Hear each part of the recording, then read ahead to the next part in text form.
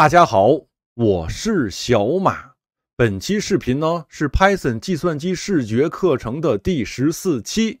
本期的主题呢，大家请看我的标题“掌心美少女”什么意思？今天呢，咱们要活用指尖技术呢，完成掌心美少女的应用程序的编写。让咱们马上开始哦。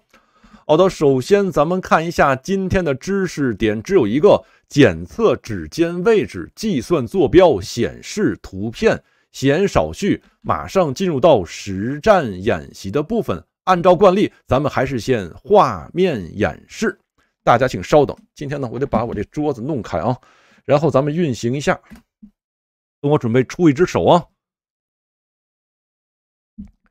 大家请看，这个是我的手，对吧？咱们呢就在屏幕当中，我手上呢什么都没有，但是大家注意看哦，好像有东西了吧？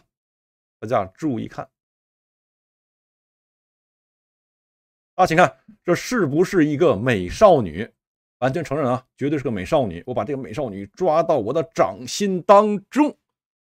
OK，今天呢，咱们就要完成这个应用程序的编写。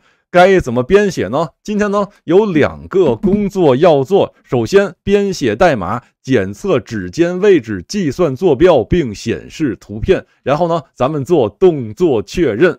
那么在接下来的操作视频当中，小马呢就给您讲解一下我的代码是如何编写的哦。